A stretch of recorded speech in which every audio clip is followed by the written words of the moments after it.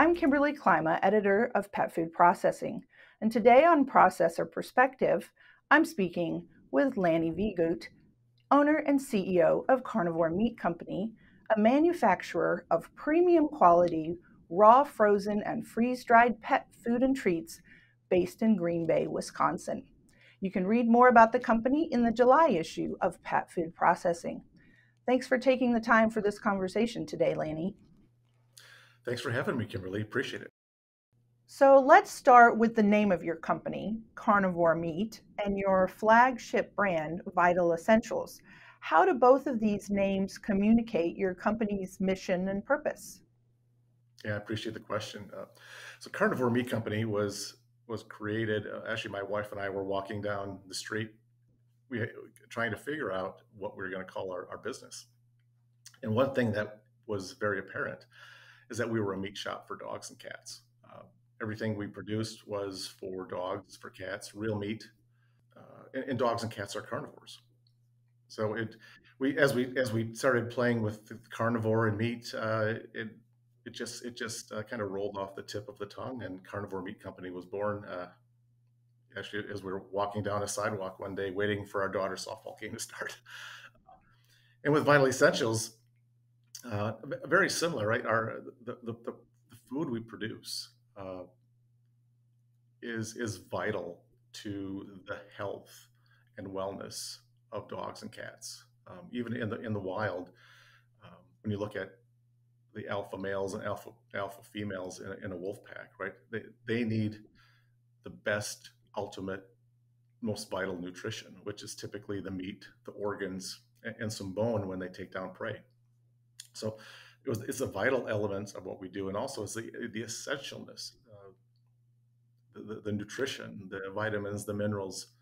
Uh, the, the limited ingredients and the, the limited uh, processing in, in raw pet food and, and frozen pet food. So, Vital Essentials uh, was born from uh, from that need. So, your business is in the freeze dried sector of pet food primarily. So, as a pioneer in this sector, how are you helping to build that segment of the market, both for your company and for others involved? Yeah, we believe that First of all, our category is growing at uh, you know in the mid 30% annually year over year and uh, you know there's a number of, of, of awesome brands and, and, we're one of them. And there's other also other folks that want to be engaged right? And we also we understand that you know vital essentials we're unable uh, to really take to take care of the entire world's uh, capacity and demand for frozen and freeze dried pet food. Uh, so as we look uh, to our own brand and helping others, we believe that the more products that are out in the marketplace, uh, the more frozen freeze dried products that are on the shelf at retail, uh, the more the, the category gains credibility, the more consumers have access and, and, and awareness uh, to our category. So last summer, just 10 years or so after you founded Carnivore Meat Company, you broke ground on a sizable expansion, a 235,000 square foot greenfield manufacturing facility and corporate headquarters in Green Bay. So by the end of this year, that plant is going to be up and running. How did you come to the decision to build such a big expansion and how can you help fill that new plant with product. Yes, it's kind of interesting.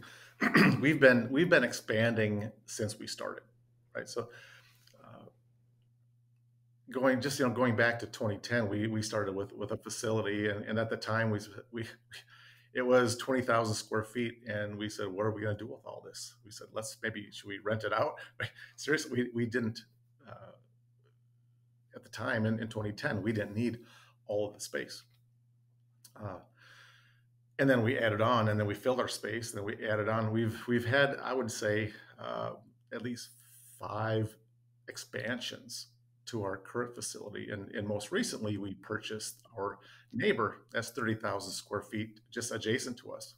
Uh, we, we acquired that property in, in 20, uh, 2021.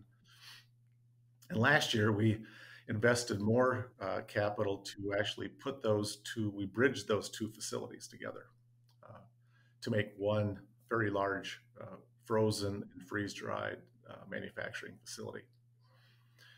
As I talked about earlier, the, the, the, category continues to grow and grow and grow. And uh, one of our one of the keys to our success has been uh, twofold. Number one is we build our own freeze dryers. So building our own freeze dryers we maintain uh, strategic a strategic uh, open amount of capacity that we have available every day. So whether it's our clients in our brand or other clients uh, that have their own brand that, that want and need some help, we're always in a position to say yes.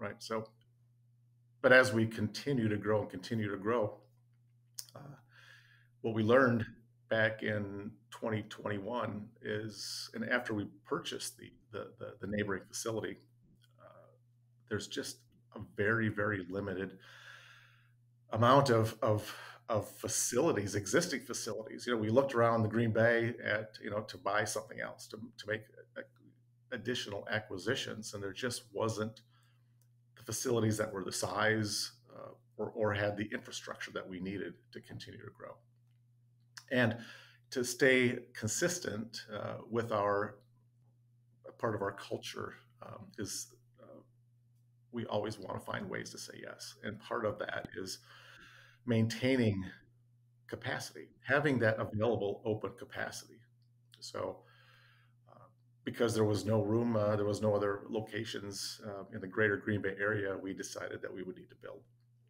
and then as we began we began building uh, we began looking at different technology, uh, robotics, uh, um, automated equipment, cobots that work alongside of people. Uh, it continued to get bigger and bigger, not just to be big, but really to uh, we're building it. It's a generational building. It's going to be able to not only handle very appropriately and, and with high degree of technology and, and, and automation, what we need today and over the next few years, but but very long, long term. Uh, it's a 28 acre site and it's 235,000 square feet, but we can, it's built today, uh, constructed today, so we can uh, basically flip that whole footprint and, and double the facility at, at, a, at a time and date in the future. Well, that's just incredible to be able to grow into such a large facility, but then even have future plans and future opportunity for even more growth. So, just along those lines, and sort of to wrap this up, I'm going to ask you to sort of pull out your crystal ball and tell me what you think the future holds for your company and also for the freeze dried pet food segment. Fair question. And, and I get that asked that often. I think that the trajectory that the frozen and freeze dried uh, pet space is on is, is, is very, very bright. To invest 200 in, in, in a 235,000 square foot building, right there, we have a high degree of confidence that this is going to continue. And I think there's there's another, uh, I would I would say quite significant, uh, maybe explosion that's going to happen probably in the next 18 months where there's going to be another. I think the economy's been a, a bit of a drag, and I think there's there's we're, we're, what we're seeing is some pent up demand that will come to show show itself real soon. Uh, you know, the, the, our our building. Uh, there, there's thousands of people that come into our category every day. So when we look at our building, uh, it, it needs to be you know people people rely on us uh, not only on our brand but others rely on us to make sure that we have that capacity. And not only the capacity, but we continue to challenge ourselves to become more efficient uh, and more effective, uh, making better use of the resources uh, that we have. I mean, our building is going to be uh, probably the largest uh, and, and, most technical, technologically advanced facility in the world, whether it's human food or, or pet food for, for freeze drying. So we're really excited about that. Well, it's definitely going to be exciting to see it up and running by the end of the year and see what you all can turn it into in the years to come. So, thanks a lot, Lanny, for coming here today and chatting with me and telling me a little more about the company and the Vital Essentials brand and sharing that with our audience. Thank you for having me, Kimberlie. Appreciate it. And look for our cover story on Carnivore Meat Company in the July issue of Pet Food Processing.